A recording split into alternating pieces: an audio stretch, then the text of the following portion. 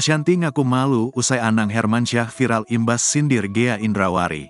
Artis Ashanti malu usai suaminya Anang Hermansyah viral usai mencecar Gea Indrawari soal pernikahan. Sebagaimana diketahui, perbincangan Anang Hermansyah dengan Gea Indrawari viral di media sosial.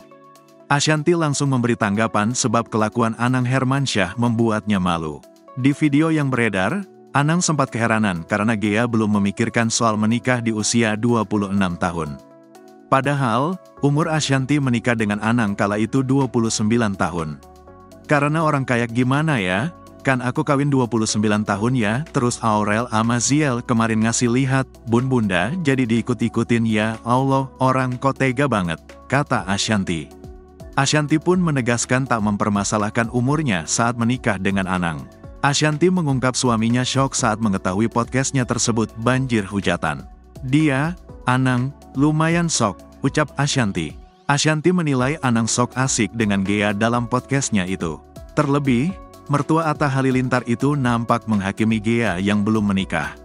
Menikah itu kan bukan keharusan umur harus berapa. Cuman akhirnya Mas Anang mau sok asik aja kali ya, jelas Ashanti.